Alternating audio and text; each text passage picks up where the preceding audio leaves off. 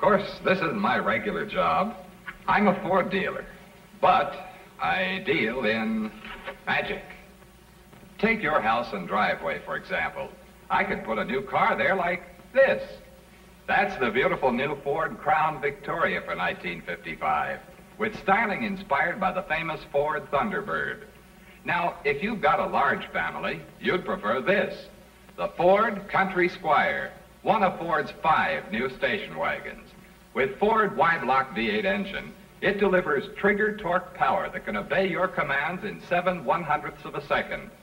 Or would you prefer Ford's Fairlane Town Sedan or Custom Line two-door?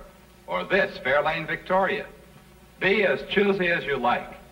And whichever model you choose, you'll be surprised how easily you can have it right in your driveway.